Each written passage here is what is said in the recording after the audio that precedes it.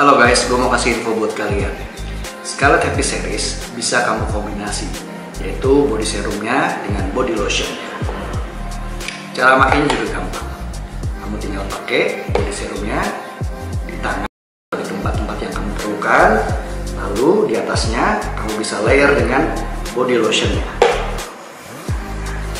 Dan ini fungsinya manfaatnya banyak banget selain kulit kamu lebih sehat lagi dan ini juga bisa membuat kulit kamu lebih cerah.